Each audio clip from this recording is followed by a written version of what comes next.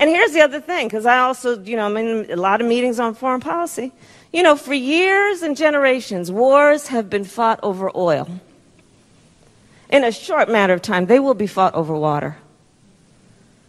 So when we think about building up our economy around our infrastructure on something like water policy, it's literally about jobs, it's about the fundamental source of life that Tammy Duckworth was talking about. It will sustain life. And it's about strengthening up our nation around a commodity that is a precious commodity.